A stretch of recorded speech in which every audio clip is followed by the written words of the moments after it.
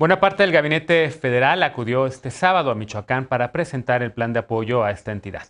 Aunque el plan contempla varios rubros como salud, bienestar y turismo, la nota se la llevó el aspecto de la seguridad. 17 mil elementos de las Fuerzas Armadas serán desplegados en Michoacán. Veamos el contexto.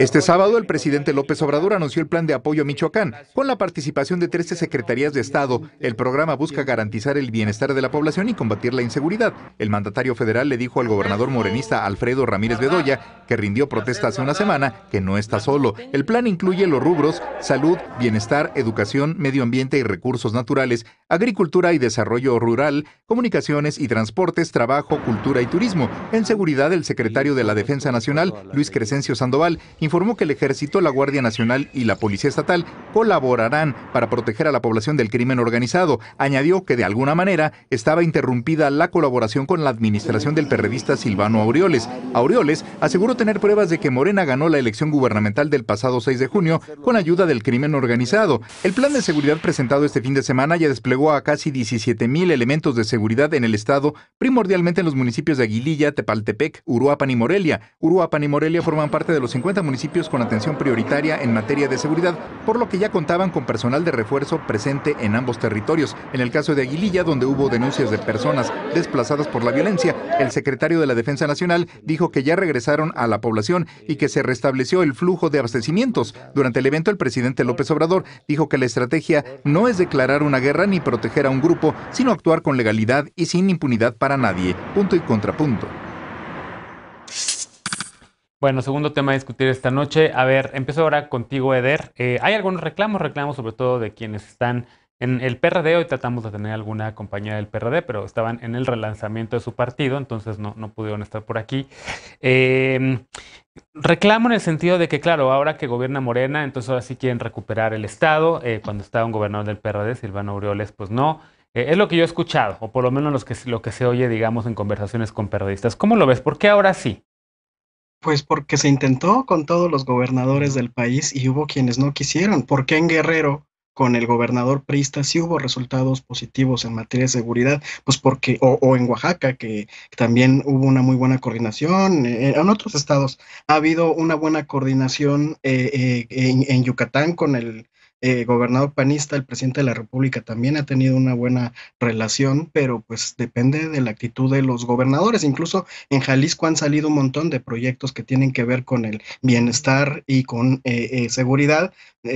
A, regañadientes y con mucho conflicto, pero han salido algunos acuerdos, a diferencia de Guanajuato y Michoacán. creo que tiene que ver la actitud de Silvano Aureoles con eh, los 19 mil millones de pesos que, deja como déficit presupuestal para la administración eh, actual o la deuda por 20 mil millones de pesos que también le hereda a, Alfredo Ramírez Bedoya.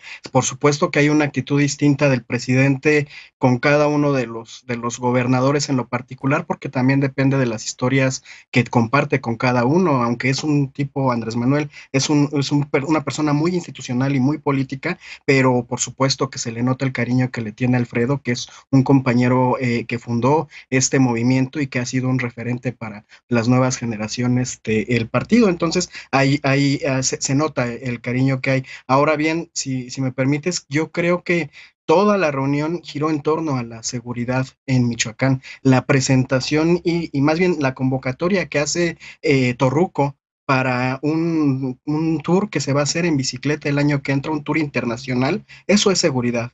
Esa es, ese es el enfoque de seguridad de la Cuarta Transformación Nacional. Me parece que hay un tema que es muy importante. En abril, ya una vez les decía yo, eh, eh, el nuncio apostólico, el nuncio es como el embajador eh, político del Vaticano, se fue a Aguilillas a caminar las calles y las plazas públicas. Ese proceso que él fue a abrir sin el Estado mexicano, al menos en el estado de Michoacán, sirvió como plataforma para un proceso que anunció Rosa Isela, la secretaria de Seguridad, que tiene que ver con la religación comunitaria. Entraron todas las dependencias del gobierno federal, de la mano también con la Iglesia Católica, que fue quien tomó la iniciativa. Incluso el INE ya se metió a la región Aguililla en este proceso de, reconstrucción del tejido comunitario y están trabajando con la comunidad, están trabajando proyectos eh, eh, de recuperación económica, están trabajando el tema de salud, por supuesto están avanzando en temas educativos, de infraestructura, y lo están haciendo con la comunidad. Esa es la visión de seguridad ciudadana que se tiene y a mí,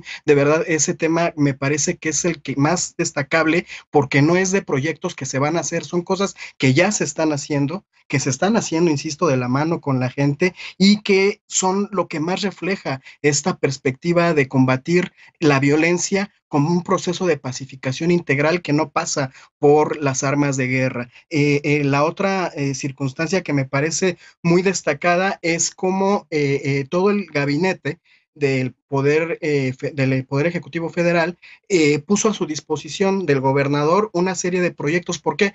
Porque Michoacán está en crisis, tiene una crisis humanitaria por el vaciamiento de, de las funciones del Estado en la inmensa mayoría de los municipios de, del Estado. Es necesario que haya un proceso integral como lo hubo en, en Guerrero para poder eh, sacarlo medianamente de la situación tan grave de violencia que estaban atravesando. Me parece que son muy buenas noticias. Igual, eh, como todos los procesos que se anuncian, hay que darle seguimiento a ver cómo, cómo sucede. Eh, también dependerá mucho de las capacidades como administrador público que tenga eh, Alfredo, porque insisto, es un gran compañero, pero pues a ver cómo lo hace como gobernador y tendrá mucho que ver también la comunicación que mantengan de forma permanente con la gente, que todo lo anclen con la comunidad. Bien. ¿Cómo lo ves, Dolores? Eh, ¿Por qué ahora sí lo vuelvo a preguntar? Eh, en efecto, pues, digo que la queja de los periodistas había sido ¿por qué no antes? ¿no? ¿Por qué hasta que gana Morena? ¿Y realmente auguras que podrán eh, recuperar el Estado? Parecía a todas luces un Estado fallido Michoacán. Mira, la pregunta es excelente, Genaro, porque nos pone a observar los procesos de gobernaturas a lo largo y ancho de la República eh, mexicana, no solo el caso de Michoacán. Es evidente que el presidente Andrés Manuel López Obrador envía este mensaje de presencia. Eh, llega ahora sí un compañero a la gobernatura y por supuesto eh, el presidente quiere estar presente y quiere dejar en claro algo muy importante y es que la cuarta transformación tiene en sus prioridades el tema de la seguridad. Recordemos que en México uno de los temas más sentidos es la seguridad y creo yo la corrupción en este momento y la cuestión, por supuesto, del hambre y del desempleo. Yo creo que esos serían los temas prioritarios. Andrés Manuel lo sabe y hace presencia en un lugar que, como efectivamente dice Eder, eh, está en, un proceso de quiebre desde hace bastante tiempo. Y por supuesto también es el mensaje del presidente al eh, exgobernador Aureoles eh, de decirle, bueno, aquí estoy y eh, ¿no? llega ahora sí uno de los míos, uno de mi equipo y quiero hacer presencia, ¿no? Y sobre todo también creo que López Obrador deja muy en claro que cuando se trabaja con él va a haber apoyo y cuando no, pues ahora sí que, ¿no? Adiós.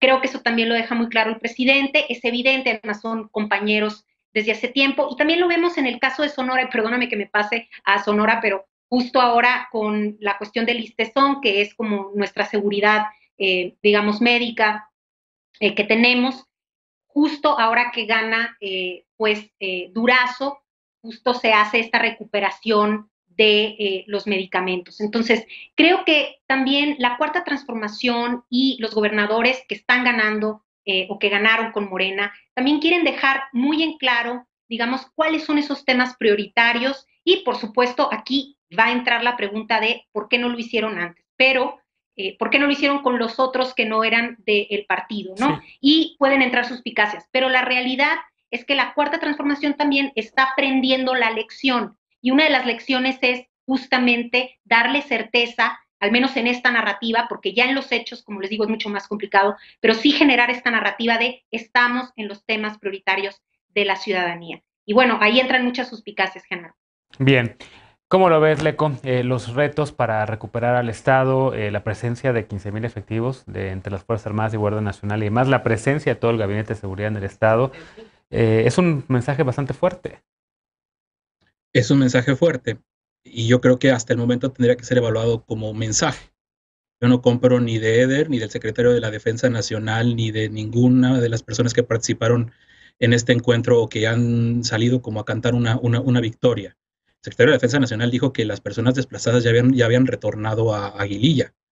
Yo, eh, por, el trabajo que, hago, he tenido comunicación con algunos pobladores, con algunos miembros de la iglesia en Apatzingán y en Aguililla. Hoy escuché a, al párroco de Aguililla, que ha sido muy vocal en toda esta crisis tremenda humanitaria que aisló prácticamente a, Aguililla, que hizo que muchas personas desplazaran a, a Patzingán, decir que ellos no han visto absolutamente ningún cambio, ni han tenido ninguna de la no han tenido esa interlocución que se presume que hubo.